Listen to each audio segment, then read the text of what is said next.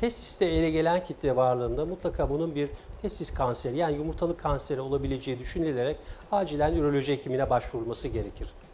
E, testiste ele gelen kitleler genellikle testis kanserleri yani yumurtalık kanserleri olabileceği gibi aslında bu bölgede yine oluşabilecek olan kistler ya da sıvı toplaması durumları da olabilir. Bazen genç yaşlarda da varikoselle karşı karşıya kalabiliriz. Testiste ele gelen kitlede özellikle kendi kendini muayene çok önemli.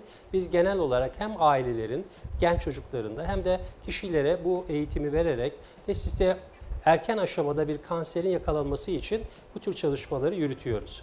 Testise ele gelen kitle fark edilir ve mutlaka sert bir nodül olarak, sert bir doku olarak fark edilir ve e, bu tür durumlarda da çoğunlukla bir yumurtalık kanseri tablosuyla karşılaşırız.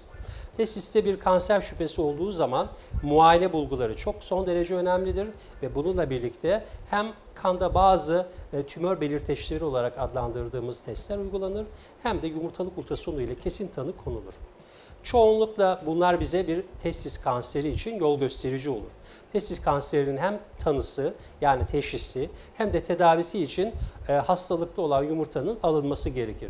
Çok çok çok özel koşullarda e, eğer kişilerin daha önceden bir testisleri yoksa ya da bazı özel durumlarda da e, testiste e, koruyucu tedaviler mikro cerrahi yöntemlerle uygulanabilmektedir. Ancak bunlar özel bir deneyim gerektirir ve özel hasta gruplarında uygulanması gerekir.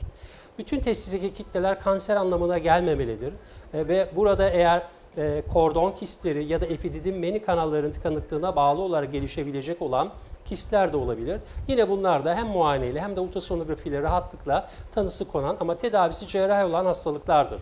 Bazen lenf kanallarındaki tıkanıklığa bağlı olarak sıvı toplanmaları olabilir.